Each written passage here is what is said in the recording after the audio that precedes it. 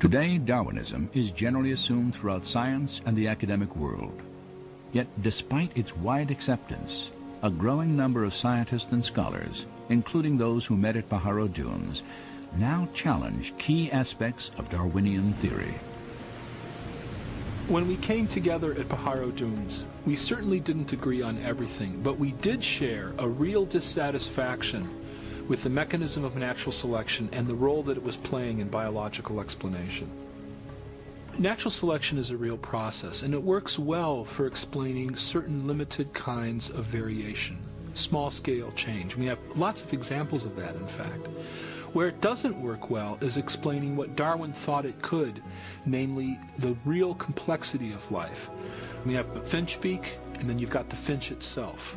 A minor change in the structure of the beak versus the origin of the organism itself.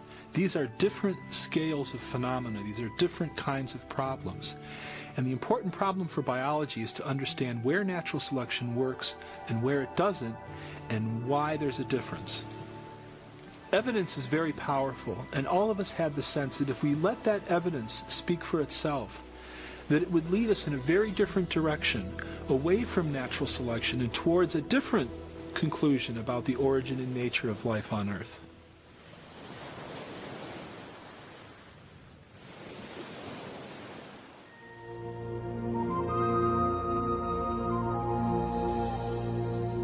Natural selection acts only by taking advantage of slight successive variations.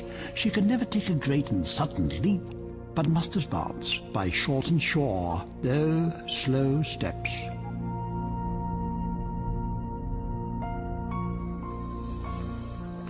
It's really interesting to notice that the more we know about life and the more we know about biology, the more problems Darwinism has and the, more design becomes apparent.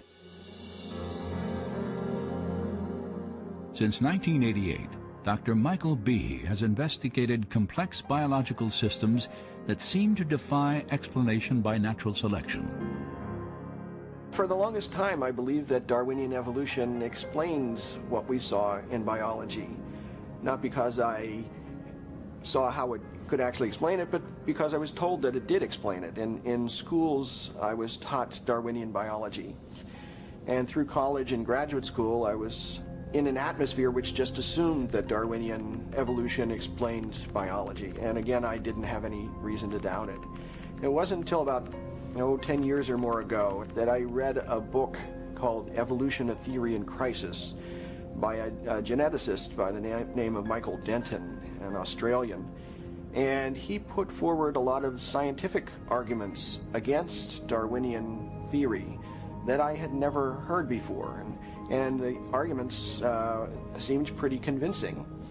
And at that point, I, I started to get a bit angry because I, I, thought I was being led down the primrose path. Here were a number of very good arguments, and I had gone through a, a doctoral program in biochemistry, became a faculty member, and uh, I had never even heard of these things.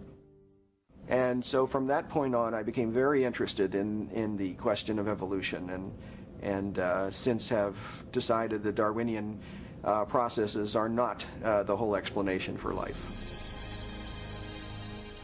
Michael Behe's skepticism derived in large measure from what modern biology has revealed about life's most fundamental unit, the cell.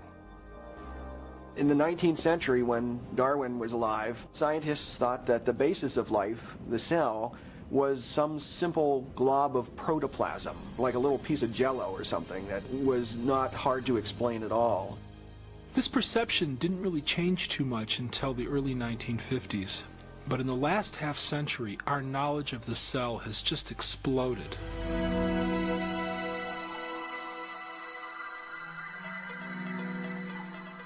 Today, powerful technologies reveal elaborate microscopic worlds. Worlds so small that a thimbleful of cultured liquid can contain more than 4 billion single-cell bacteria, each packed with circuits, assembly instructions, and miniature machines the complexity of which Charles Darwin could never have imagined. At the very basis of life, where molecules and cells run the show, we've discovered machines. literally molecular machines. There are little molecular trucks that carry supplies from one end of the cell to the other. There are machines which capture the energy from sunlight and turn it into usable energy. There are as many molecular machines in the human body as there are functions that the body has to do. So if you think about hearing, seeing, smelling, tasting, feeling, blood clotting, respiratory action, the immune response, all of those require a host of machines. When we look at these machines, we ask ourselves, where do they come from? And the standard answer, Darwinian evolution, uh, is very inadequate in my view. In speaking on the topic of scientific naturalism and evolution... During the early 1990s, at a series of academic conferences, Behe first shared his doubts about the ability of natural selection to construct complex molecular machines. One machine particularly attracted his attention. I remember the first time I, I, looked in a biochemistry textbook and I saw a drawing of something called a bacterial flagellum with all of its parts in all of its glory. It had a propeller and the hook region and the, the drive shaft and the motor and, and so on. I looked at that and I said, that's an outboard motor. That, that's designed, you know, that's no chance assemblage of, of parts. Behe's reaction was not surprising, for the molecular motors that drive bacteria through liquid each depend upon a system of intricately arranged mechanical parts. These parts come into focus when portions of a cell are magnified 50,000 times. Biochemists have used electron micrographs like this one to identify the parts and three-dimensional structure of the flagellar motor.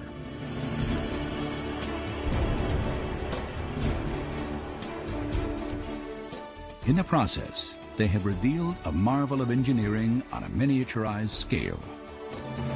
Howard Berg at Harvard has labeled it the most efficient machine in the universe.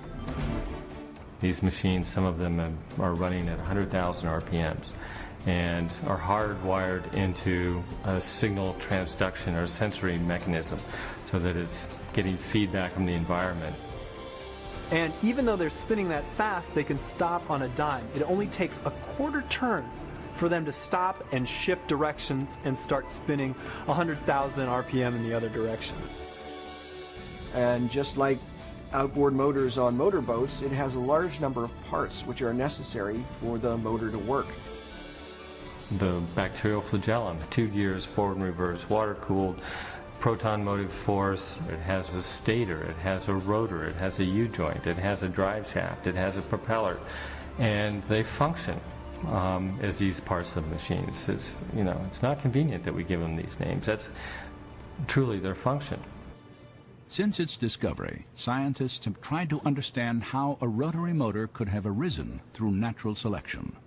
As yet, they have failed to offer any detailed Darwinian explanation.